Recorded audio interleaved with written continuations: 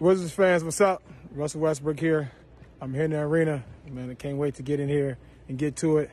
Uh, appreciate you guys. Uh, looking forward to a great season. Let's go Wizards. What do you feel like is maybe most either misunderstood about you or maybe misrepresented about you? Uh, where do you want me to start? it's the whole thing. Well, listen, I think the, the, the underlining thing about that is that uh, 90% of it, 100% of it not even true because a lot of times the things that are made up, people don't actually know me um, to be able to say anything about me um, or what I'm about or what I believe in.